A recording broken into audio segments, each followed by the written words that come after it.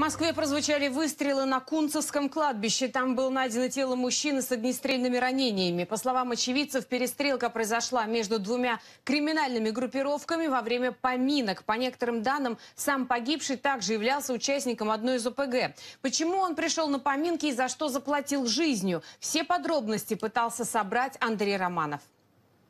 Территория Кунцевского кладбища сегодня с обеда закрыта для посетителей. Там произошла перестрелка. На месте происшествия следователи обнаружили одного убитого. По данным некоторых СМИ, это некий Игорь Белов. Якобы в свое время он состоял в рядах Солнцевской ОПГ. Известно, что сама стрельба произошла во время поминок.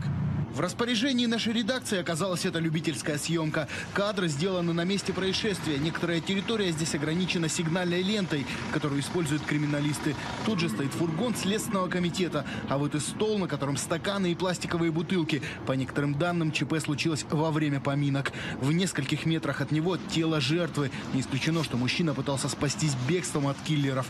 В него, как сообщают очевидцы, сделали от трех до семи выстрелов. Пришли одни поминать друга, а другие тоже пришли и что-то там не поделили.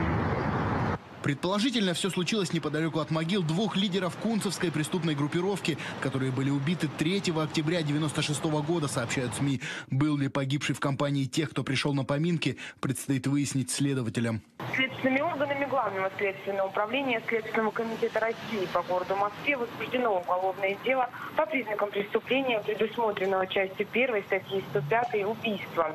По данным следствия, днем 3 октября 2017 года на территории Кунцевского кладбища в городе Москве местные жители обнаружили тело 49-летнего мужчины с огнестрельными ранениями. Подробностей правоохранители пока не раскрывают. Охрана кладбища и вовсе решила, что расследование должно проходить в атмосфере строжайшей секретности. Люди в форменной одежде долгое время удерживали нашу съемочную группу на территории. На каком основании вы меня удерживаете? Что скрывается за странными порядками секьюрити, непонятно. Только вот о перестрелке они и сами, похоже, узнали от очевидцев. Полицию вызвал кто-то из посетителей кладбища, а вооруженные люди, устроившие перестрелку среди могил, видимо, ушли незамеченными.